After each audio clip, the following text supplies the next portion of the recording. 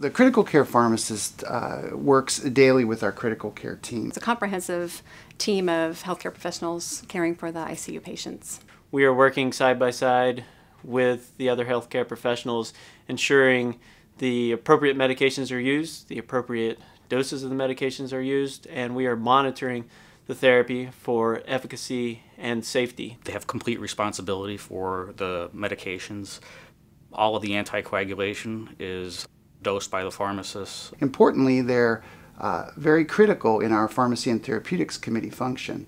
They serve as the reviewers and often the experts in determining the best use of medications. The feedback that we've received from that team has been tremendous. They are so thankful every day uh, to have a critical care pharmacist attend rounds with them and be able to make recommendations and be able to answer their questions right on the spot.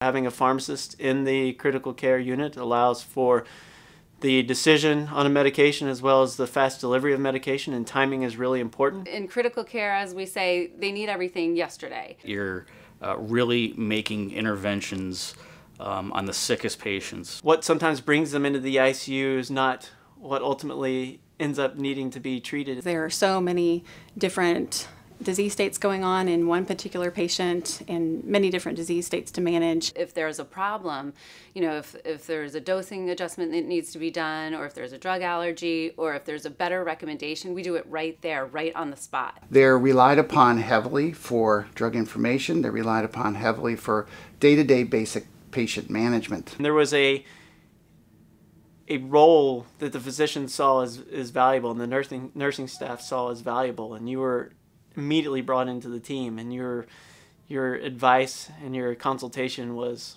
respected at a high level. I think for those that want a very rewarding, challenging career, that want to make the biggest impact within pharmacy practice, the critical care unit is one of those places where you can make a very, very large impact. So I think board certification is an important step for pharmacy and particularly critical care pharmacy. Everybody is licensed uh, once they graduate pharmacy school, but that board certification adds another layer of uh, standardized competence. The credentialing and the certification uh, provides a high degree of credibility with our medical staff. Board certification is something that's universally understood across disciplines. Nursing, for instance, has um, certification in critical care. So I feel that when they know that pharmacists can have a, a, certification in critical care, I feel that those nurses will, will feel more confident to work with those pharmacists.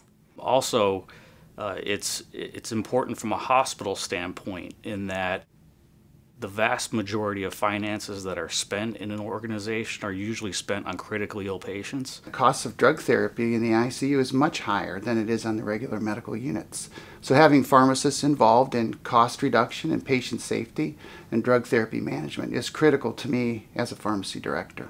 One thing that board certification does for people is to not only assure a certain standard level of competence, but also a certain high level of maintained competence. Residency is only a snapshot in time, and board certification actually allows somebody to continue to develop their career beyond residency on a continuing basis and allows them to maintain the confidence that they may have achieved during residency.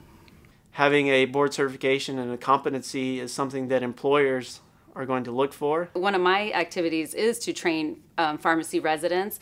And when they finish a residency, you know, they're very happy to have that. But in addition to that, I always tell them that you should seriously consider obtaining board certification because it's something else that makes you stand out. We uh, use it as a criteria for how we select our people. We actually only hire pharmacists that are board certified to be our clinical pharmacists. And so uh, we definitely look at the qualifications for people that are applying to our jobs. And so just because they have residency training doesn't mean that they will be competent. There are additional benefits that pharmacists have who are board certified at Ohio State. One of the benefits is that they receive a 2.5% pay increase. At our institution, that can affect the drug therapy management capabilities of the pharmacist or allow them to perform those at an earlier stage in their career instead of having to get additional years of experience or qualifications. They also provide financial incentives upon recertification. An organization actually pays for the tests and all materials uh, to prepare for the tests. Well, I think critical care pharmacy is well developed as far as the training path. We have a consistent path from progressing from a student to a postgraduate year general pharmacy practice residency and then critical care specialty residency as a second year of training. So that is the the fastest way for a student to become trained and specialized in critical care.